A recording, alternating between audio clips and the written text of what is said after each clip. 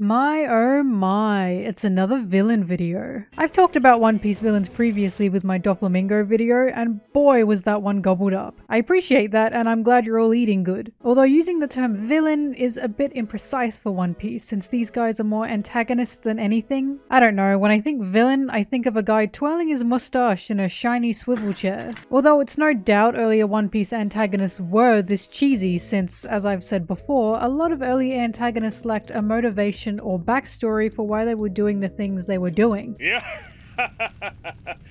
Banana. It's not like they really needed backstories, they simply had a zest that was loved among fans, even though we're all oogling Crocodile for what his life story could possibly be. I'm watching you, you little sandy ass bitch. Every single arc needs the big bad for Luffy to beat, and usually big bad beat means arc end and everyone happy. As the old saying goes, just fucking punch the shit out of your problems. But there's one or two arcs that don't really do that, and the one I want to focus on today is Whole Cake Island. Specifically, I want to look at the Monster Munchy Mochi Man.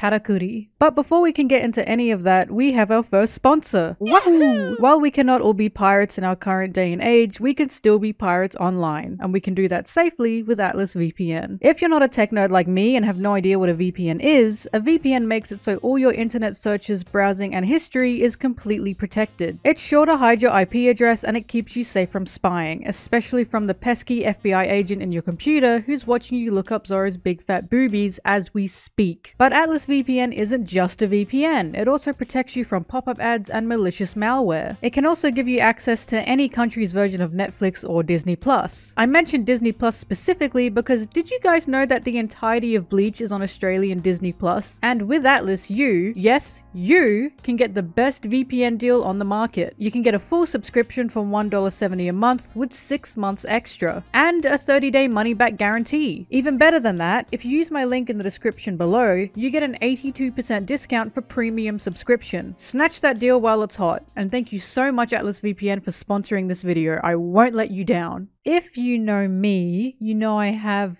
um...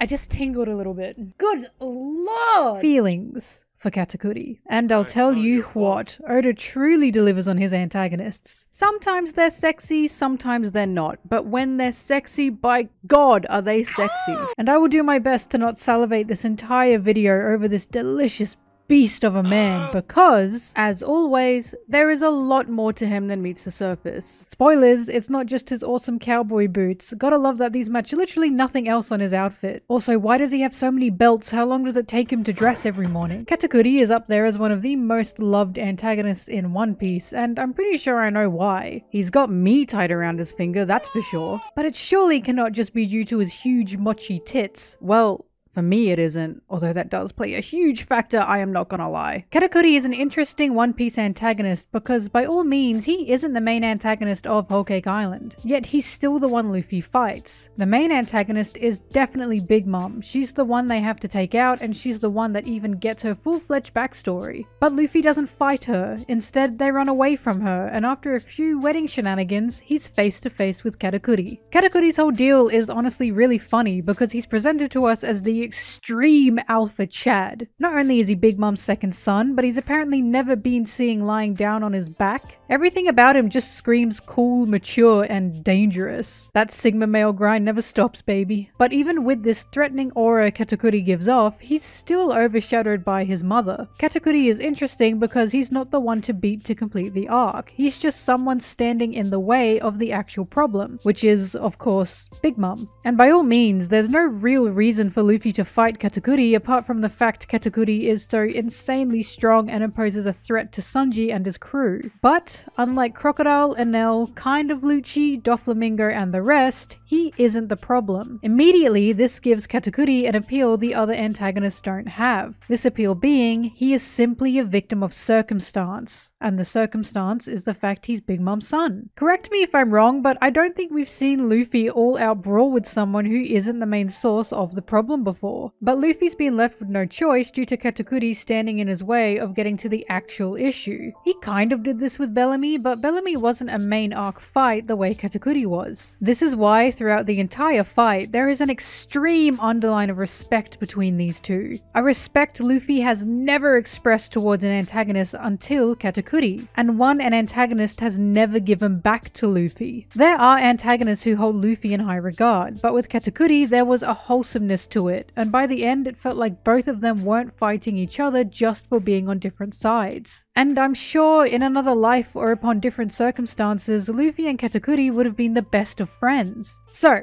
you know what we gotta do now. We gotta dig into Katakuri's big, mochi brain and figure out how he works. Amazing design aside, Katakuri is also amazingly written and, in my opinion, one of the best antagonists One Piece has ever conceived. He's no Doflamingo, but he has a different flavor to him. A sweet, chewy, delicious flavor no other antagonist can compare to. Yes, he is extremely strong with his future sight haki and his devil fruit and blah blah blah, but what makes him so good as a character is how he ties into the theme of Whole Cake Island with Sanji. It almost feels like Katakuri and Sanji are two sides of the same coin. In fact, Brulee, Pudding, and maybe Perospero, but I don't care about him so I hope he dies. They all mirror Sanji and complement his struggles with the main theme of Whole Cake Island, with this theme being blood family. More specifically, the complications of blood family relationships and duty to family due to being bound by blood. Katakuri is threatening, there's no doubt about that. But he isn't evil. He's no Big Mom, he's simply her second son. In the same way Sanji is the son of Judge, who is a master of science and the evolution of war machinery, Katakuri was the son of a pirate emperor. Already, we can see the circumstance he's been forced into simply by being born. Because how the fuck do you go against a woman who is not only your mother, but an emperor of the sea? He had no choice but to become strong, to work under his mother and to be her man in the front lines with anything she needed. There's a complete obligation to family for him, but it can be argued whether he does this willingly. Unlike Sanji, who rejected his father and escaped his clutches, Katakuri had no option to ever even dream of such a thing. So, with absolutely no way of controlling his own fate, he had to accept his position as the second son and become the strongest soldier on her crew.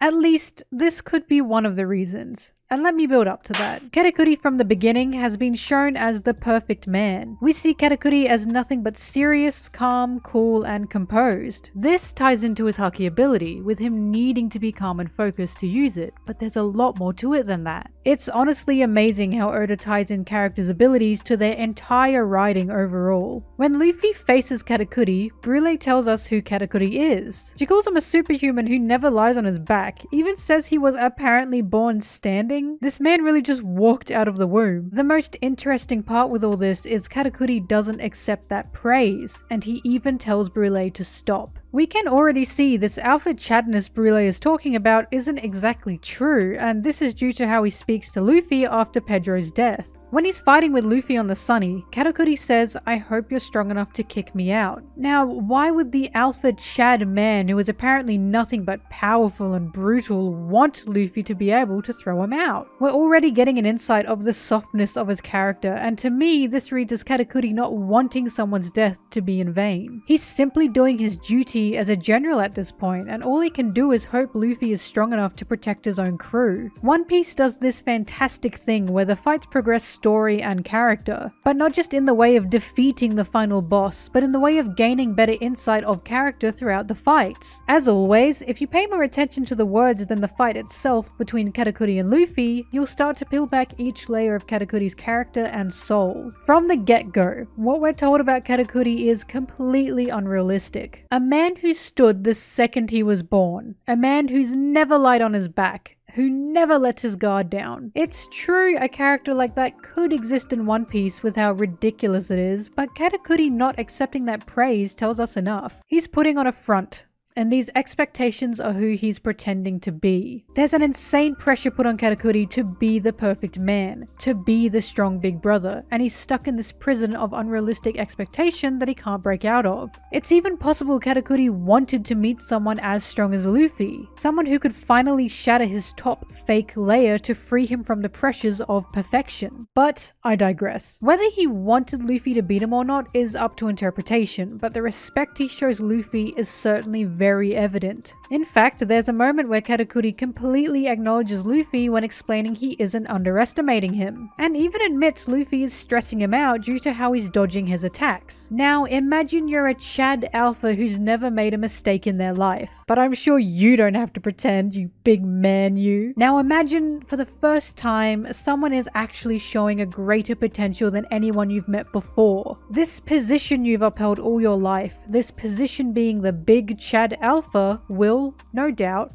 waver. And this is exactly why Luffy gets to Katakuri, and why Katakuri is starting to stress out. Due to this, Katakuri uses all his might to take out Luffy, and we receive yet more insight on just the type of person Katakuri really is. His chefs come in at his designated tea time to offer him his snack, which are his beloved donuts, and they continue to hammer in the pressure Katakuri faces. Katakuri makes a mini mochi temple for himself, to which he enters with his snacks, and we get an explanation from the chefs about why he's done this. They say no one has ever seen Katakuri eat, and this is due to the fact he never relaxes, not even while he's eating. They further say he's apparently using this time to hone and sharpen his power, and there's an immense concentration happening within this forbidden temple. That is, until Luffy comes back to destroy it. Not only does Luffy shatter the Mochi temple, but he shatters the pretense Katakuri puts up. And what do we see in the temple? We see Katakuri laying on his back, indulging himself on donuts, and singing about how much he loves them. Oh,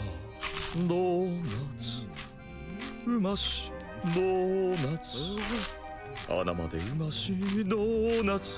Everything the chef said was a total lie, and it shocked even them. Turns out, Katakuri does relax, he just never allows anyone to see it. He even calls this time a forbidden pleasure, which is really sad to me. His act of being perfect has gotten to the point that just relaxing, just being a normal human being, cannot be shown to anyone and is believed to be a forbidden pleasure. And this is where the layers of Katakuri continue to peel, and they peel back rapidly. We have now seen Katakuri does indeed relax. He does lie on his back, and he's forcing himself to keep up such a facade. Not only this, we discover he's extremely self-conscious of his mouth. He charges forward to chase the chefs, completely shaken and enraged at what they'd seen. And he becomes angrier when he thinks one of them was making fun of his mouth. For the first time ever, he's become irrational, and he calls this his true self.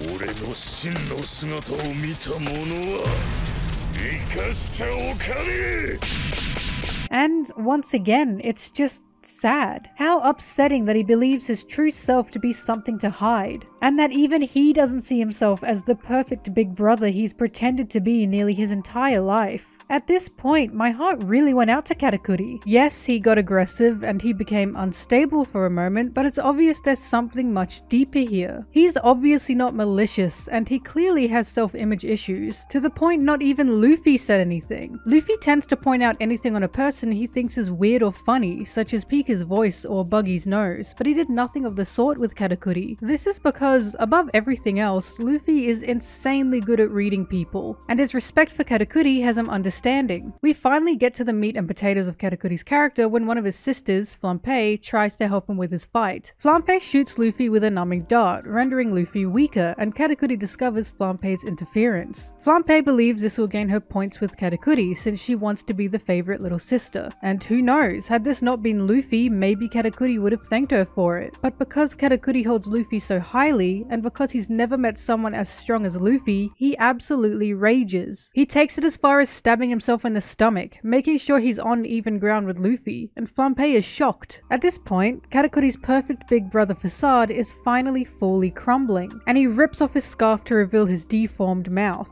For the first time, Flampe sees him irrational, angry, and has shown Katakuri's true self. And the saddest part? Flampe rejects it. The perfect big brother she loved so much, who she wanted to be favored by, now no longer exists to her. Her opinion of him immediately lowers, and she calls him disappointing, pathetic, a loser, and lame. She then rubs salt into the wound by saying the siblings all only admire a certain Katakuri, and even says he isn't the big brother Katakuri she knows and loves. Even though this is his true self! Flampe yells that the perfect big brother they all know and love is dead, and in an absolute power move, Katakuri doesn't retaliate at all, and steps on the scarf he normally wears to walk towards Luffy.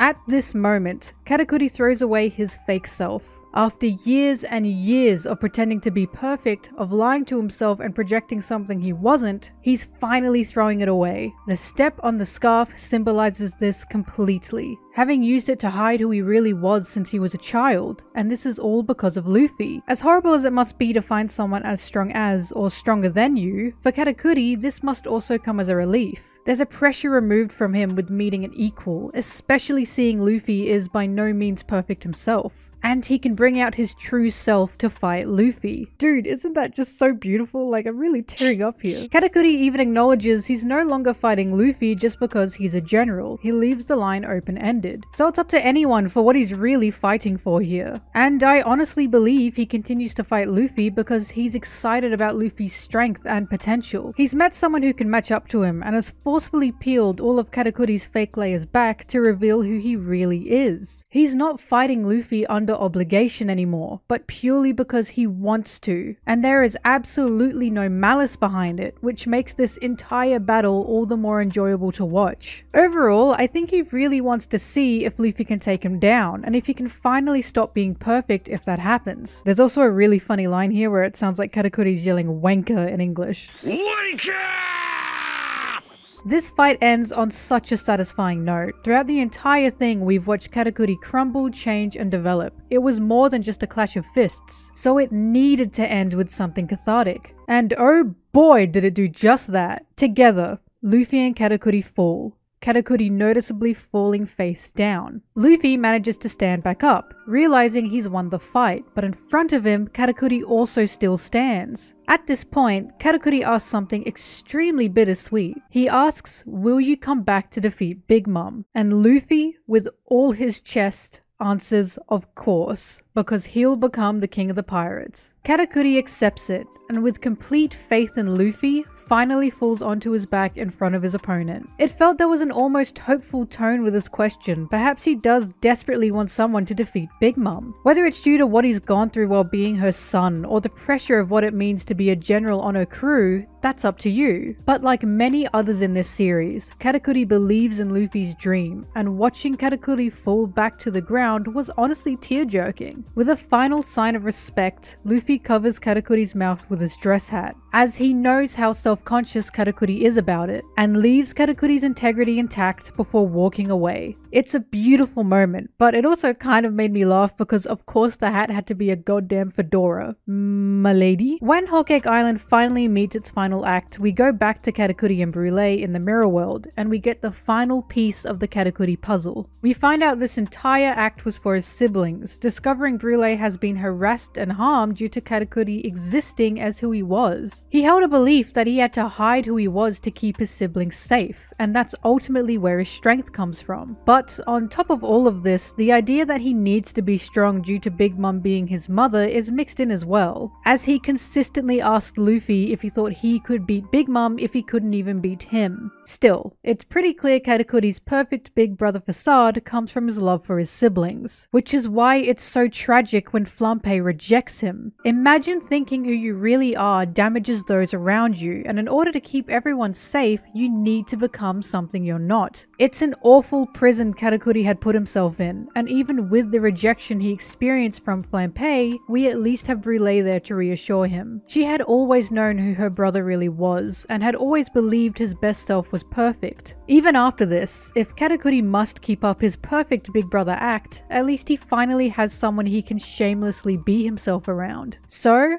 after all this, what's the appeal of Katakuri? He's strong, and there's no doubt, but his main appeal, at least for me, is the struggle of self he faces. Katakuri tried his hardest to be perfect, and in the eyes of others, he succeeded at it for decades. He was afraid to be himself, afraid of how others would see him, and kept up an act for the protection of his siblings. I'm sure anyone who is an older sibling can relate to him very heavily, but I think it can be relatable for anyone to be scared of showing your true self. Katakuri faces both rejection and acceptance from others when revealing revealing who he truly is. And that's just realistic. We all put on a mask for others, depending on the person, and taking that mask off will be met with ridicule. But sometimes, and hopefully a lot of the time, it'll be embraced by those around you. And sometimes you'll meet someone who'll pull your real self out for you, which is exactly what Luffy did for Katakuri. There's a liberation that Luffy has given Katakuri with his defeat, and I really do want Katakuri to come back into the canon story to see if anything's different in how he behaves. I can only hope that Katakuri has started to accept that he doesn't need to be perfect and he's allowed to show off those big fat chompers of his. The other appeal of Katakuri is the reverse moe. I don't care what anyone says, this man is insanely cute and the fact that he hides that is a tragedy. Katakuri, if you can hear me, I love you and I miss your big mochi boobs. And with that,